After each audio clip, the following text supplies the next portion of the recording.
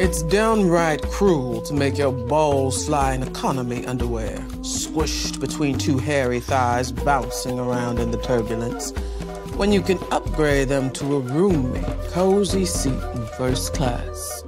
Hot nuts. Don't mind if I do.